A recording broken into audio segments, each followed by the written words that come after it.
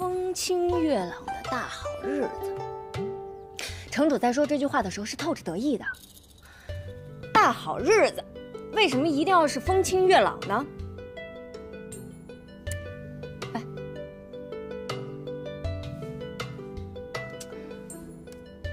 因为城主啊，知道答案。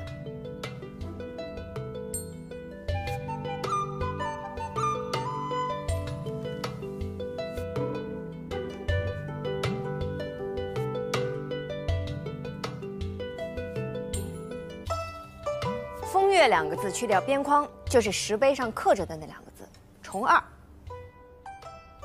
果然惊险的很。不管怎么说，我活下来了，靠我自己。鬼花城有十二名地煞，只有一个空位，却有两名候补。如果不出意外，主子和晚香姑娘还是只能活下来一个。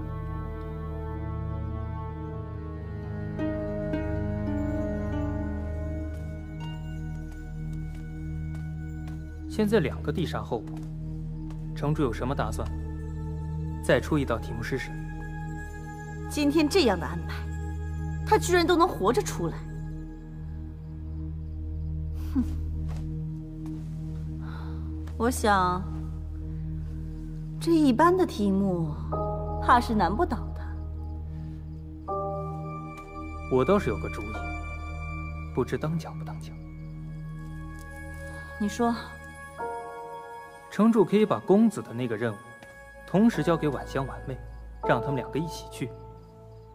一方面，公子那边说不出什么；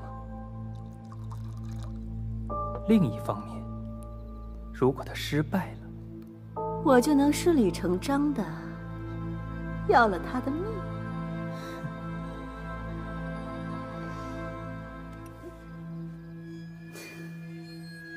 对了。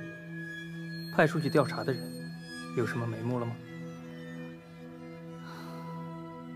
还没有呢。不过，我相信假以时日，我们一定能找到对抗公子的靠山的。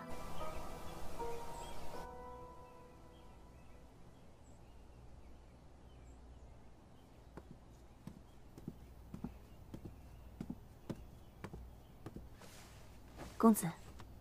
都是按照你的吩咐，我熬药的时候特别小心，没有人看到。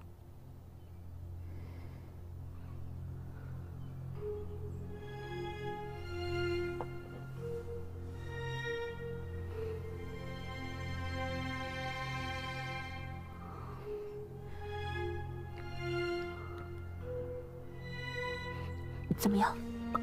这次发作厉不厉害？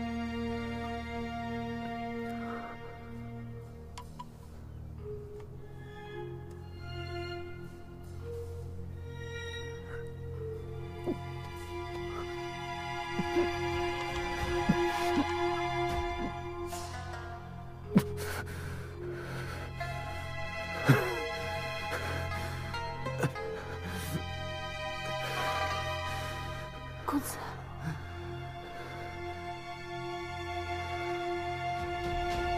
别太紧张，不碍事的。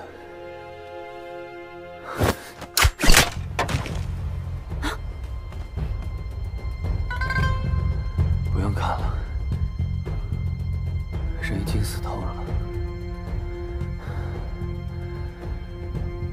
想来一定是查罗的人。打扫干净的，他们未免也欺人太甚。我娘狼河接管鬼花城，虽扶了刹罗做城主，但又毁了行风。刹罗恨我娘，可武艺却在我娘之下。况且我娘还有先王做靠山，他就算想推翻听主院，也无从下手。这几年我娘不知踪迹，又由我接管了鬼化城，她觉得对她来讲，这是个机会，所以才时不时派人打探我的实力。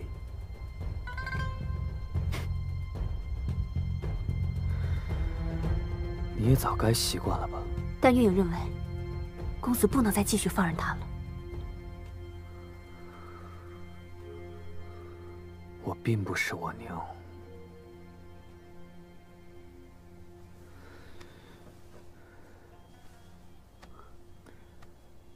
放心吧，在必要的时候，我会让他认识到这一点。